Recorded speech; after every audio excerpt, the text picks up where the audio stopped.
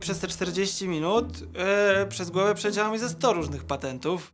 A może to z tym, a może bym to zrobił, a, mo- a ciekawe czy jest to mandolina, bo jej nie widzę.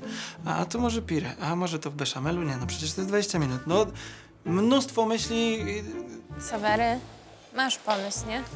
Ale niezbyt górnolotny. To pomyśl jeszcze, pomyśl. Ksawery. To ostatnie. Ile Twoja czasu on kolej. ma? 20 minut. Ksawery masz 20 minut. Magda, już koniec twojej misji. Bardzo dziękuję za pomoc dzisiaj i możesz wrócić na Super, balkonie. bardzo I masz dziękuję. pięć nowych przyjaciele.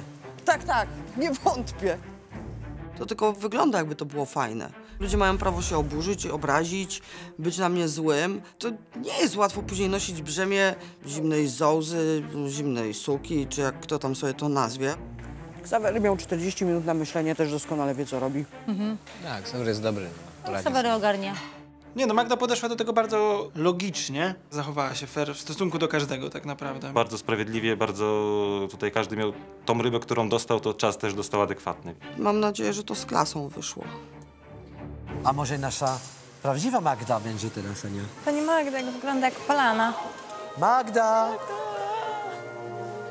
Pani Wiosna. Za duży ten park. Zgubiłaś się tam.